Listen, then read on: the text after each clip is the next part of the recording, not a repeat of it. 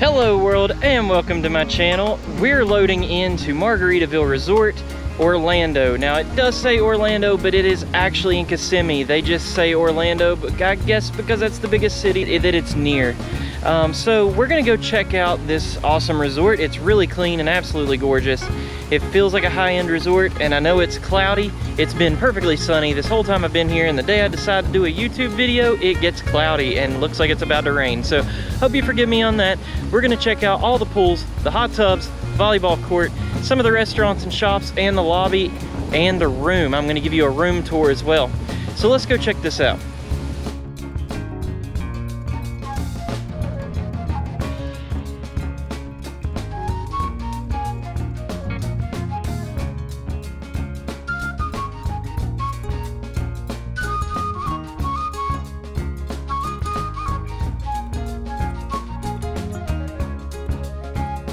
So when you come in through the front doors, you get greeted by a really awesome lobby. And this is where you want to check in right there where the magic finger's pointing. They have a huge screen behind them to make it look like you're in like Key West or something. It is an absolutely gorgeous lobby and I just can't say enough about it. We were blown away when we came in. The lobby has a small arcade in it. It's not much, but it's fun. I saw some people in here enjoying it earlier. They also have a business center here at Margaritaville Resort inside the lobby. The lobby also contains two different restaurants. One of them is called Euphoria, and it's more like they have breakfast foods here, but it's more of your fancy dinners and things. Like you've got lobster bisque, um, salads, different pastas you can see on the menu there. And then there's a place called Provisions, and it's more of like your quick service type place. It's right next door to Euphoria, and both are pretty top dollar. It looks like the average price for food here at Euphoria is $30. The average price of food that we've been paying at Provisions is probably around 25 to 30, and that's for two people. Here's Provisions, like I said before, it's a quick service type of place. They have hamburgers and uh, different little quick foods they can give you, like sandwiches. They have yogurt and salads also. They, and they have really nice outdoor seating that faces the pool. Margaritaville store is located in the lobby as well, and they're gonna sell just clothes, shoes, and different little souvenirs you might wanna take with you. The elevator comes right out these doors, walks right down here, and we are gonna be room 315. So let's go check out this room. It's really nice. Let's scan our card. Here's what it looks like before we tear it up. Starting off, you have some closet space here for your clothes and your jackets and stuff. There is a little seating area with some hooks to hang some things on. There's also a safe inside the closet that I just caught and an iron. And you have some robes. All right, let's go into where you sleep. This is your sleeping area. Two queen beds, that's the room we have. Two queen beds with a pool view. Really nice furniture and decorations. Got a place to sit there. What is this? Here's the tablet I skipped over earlier. It's got a, a little radio on it. You can listen to alternative rock. You can set alarms. It tells you what the weather's going to be, and you can call room service from it. There's also a little mail icon. I guess that's in case they want to send you some mail from the front desk, but I've never seen a tablet before in a room, so that's pretty neat. All right, and they come with a Keurig coffee machine. They have some K-Cups there. What's in here? A little mini fridge. The bathroom is really nice.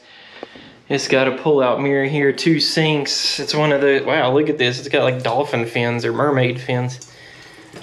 All right, tiled shower. There is no bathtub in our um, room. There's an overhead shower. And here's the bathroom, the toilet.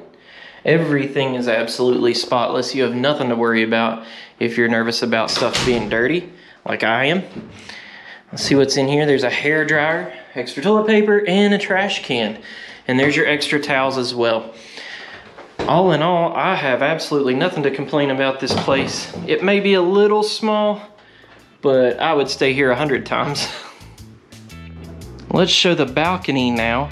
The two queen bed comes with a balcony out here that you can look over the pool in. And I guess I will be showing you that later. I like to do those in the morning so I don't catch anyone that doesn't want to be on camera too close. There's the pool and our view comes with two chairs and a little table here. It's a good view.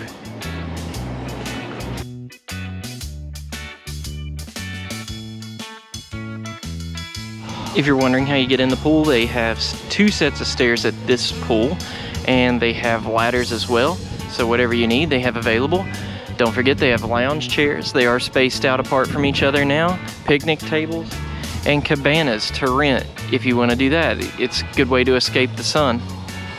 Almost forgot to show you, they do have restrooms on the, at the pool in case you need to use them. You do not need to go back to your room.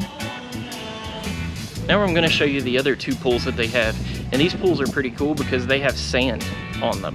So I don't know why I've never been to a pool like that, but you may think it's pretty neat, so I'm gonna show it to you.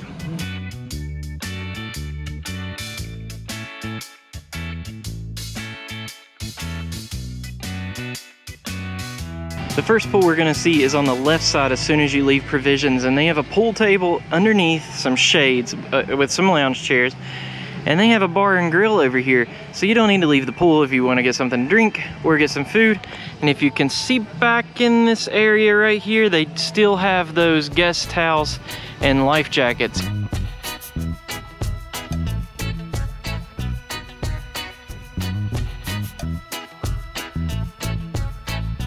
So this is pool number two.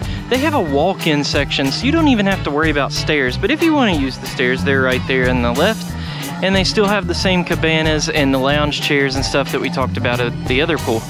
Now, if you pan over here to the left, you can see that there is a second pool.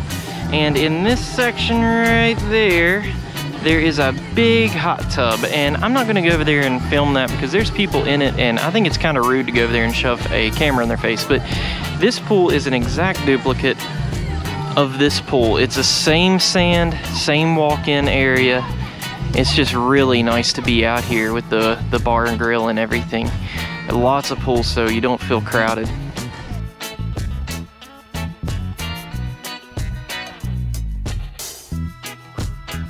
pools were nice, weren't they? I told you so. I told you so. Don't even act like you did you weren't prepared for that.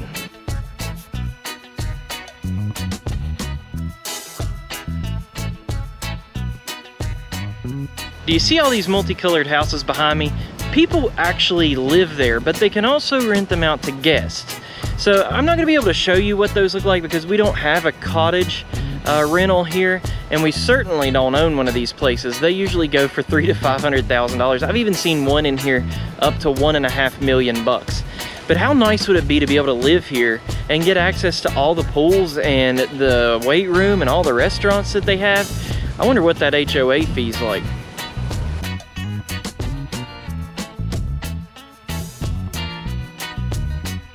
Here's a dog park over here. I really doubt you're able to bring a dog to the resort area, but you might be able to bring one over to the cottage area if you're renting one of them out.